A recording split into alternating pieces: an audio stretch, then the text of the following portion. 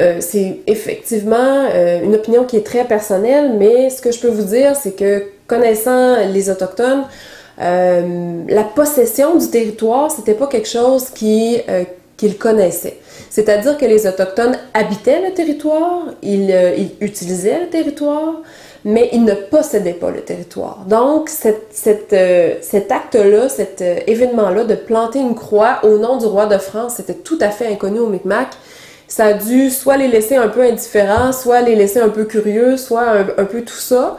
Mais euh, sur le coup, je crois pas qu'ils ont vu comme euh, bon que ce territoire-là passait aux mains de la France. Absolument pas.